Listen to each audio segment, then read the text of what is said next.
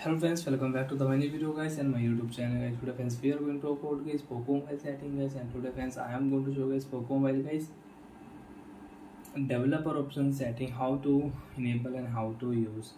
Friends, you want to enable, you want to use Poco mobile developer options how to enable developer option, how to use developer option setting one by one, step by step friends. We will talk about. So before starting video, friends first of all go and subscribe the channel, click the bell icon, like the video open your phone setting. After phone setting friends you can see this type interface in your poco mobile. So friends in your poco mobile open your phone additional setting. After additional setting friends you can use developer option setting here. But friends developer option setting is not here. So how to show developer option? How to enable developer option in poco mobile? Open your phone about phone setting friends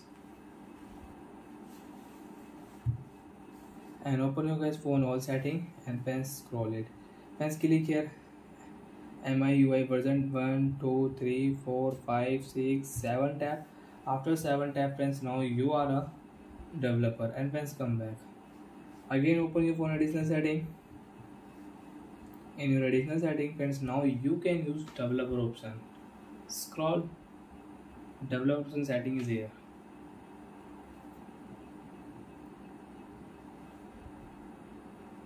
so friends you want to develop some setting home screen backup password don't lock screen skip screen lock automatic system update setting demo mode friends there are many setting in developer option setting. So friends you want to use so you can on developer option you can enable developer option and you can use. Friends you can see there are many many many many setting. So like that friends you can enable developer option from your about phone setting and when if you disable developer option developer option will remove from here. Tap here. After disable developer option will remove from here. Back. Again open your phone. Additional setting. As you can check developer option will not show.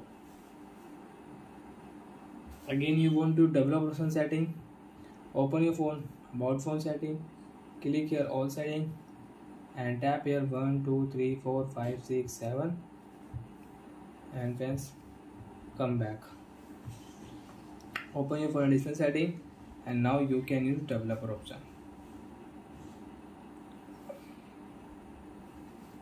After disable developer option after turn off developer option developer option will not show here. Click here back button. Again open your additional setting developer option remove bye friends. Thanks for watching the video. Friends do you have any doubt do you have any problem? You can ask me in conversation i will check. I will help you. Bye my friends